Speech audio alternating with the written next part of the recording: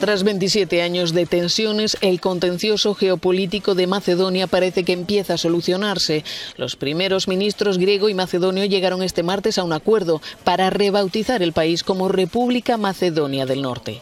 A cambio de la modificación constitucional del nombre del Estado, Atenas levantará su veto al ingreso de su vecino en la OTAN y la Unión Europea.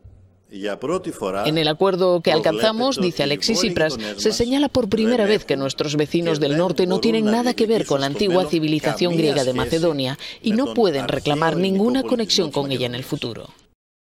Cuando la antigua República Yugoslava se independizó en 1991, reclamó como propio el nombre de Macedonia, el mismo que tiene la región griega con la que comparte frontera, algo inaceptable para Atenas. Sin embargo, para los nacionalistas macedonios, el acuerdo alcanzado ahora es una traición y una capitulación ante los griegos, por lo que prometen oponerse con todas sus fuerzas.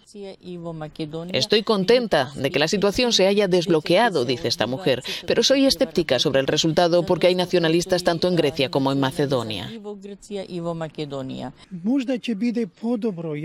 Soy optimista y espero que esto nos abra las puertas de la Unión Europea. Eso significaría que nuestros jóvenes podrán quedarse aquí y tener un futuro mejor, espera este hombre, aunque el acuerdo lo que ha desatado ahora es una guerra política interna en Macedonia.